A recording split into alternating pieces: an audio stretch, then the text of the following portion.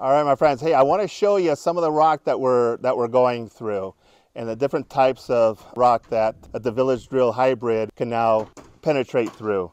So this rock over here is an igneous rock. That means it's formed through volcanic action. Uh, the second rock here is a sedimentary rock. That means that you know layers and layers of of rock and sand have been uh, pushed together and created a hard surface.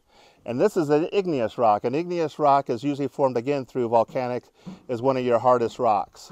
So what I'm going to do is I'm going to pound on some of these rocks and, and hopefully you can actually hear the difference and you'll know kind of the tensile strength or how hard it is and, and what we're drilling through. So as I hit the, uh, the igneous rocks, there's certainly a sound that you can hear and you can see it kind of kind of break up.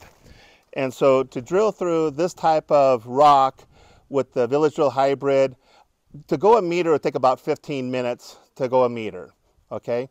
Then you have a sedimentary rock, which is a little harder, and you can hear a different tone to it. So it's, it's much harder, and again, you, you can hear uh, a little bit of a ping ping uh, uh, to it. So again, going through uh, a rock like this, we've been averaging right under 30 minutes per meter with the new Village Drill Hybrid. Then of course you have um, the hardest, which is a igneous rock. And again, we'll listen to the sound. And you can just see the hammer fly up off of it. This is some of the hardest rock. Well, most drillers wouldn't even go through this rock. Um, we're penetrating this at somewhere, it, it, depends on if we're on a fracture or not, but on the, on the best side, about 50 minutes up to about three hours uh, to penetrate a meter on, on this type of a on this type of a rock. What we're going to do is look at some of the cuttings. So this is the igneous rock. There's pretty large cuttings, right? The larger the cutting typically indicates the softer the, the rock. We've been on this igneous rock for some time and see if you can see the difference. The cuttings are smaller than, than the volcanic rock that we showed you at the beginning. Then you get into this igneous volcanic and you see how small those cuttings are, okay?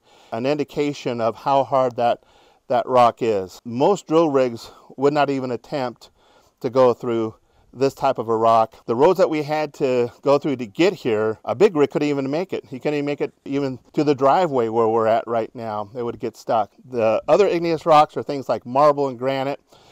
Most of those rocks are non-water bearing.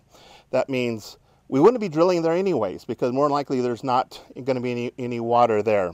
In the last uh, probably 10 hours of drilling, we've gone through 13, almost 14 meters of rock. We haven't even hit soil. We've been on rock the entire time. We've been on some of the volcanic rock, we've been on some of the sedimentary rock, and on the, the igneous rock for you know the last several hours. So uh, it's tough drilling, but because the Village Drill Hybrid, the Village Drill model is so versatile, number one, to bring it here to a rural community has been a real blessing. And again, because the roads are so bad, it would be almost impossible to actually get a big rig out here. And so the Village Drill Hybrid has about the same amount of power and torque as some of those big rigs.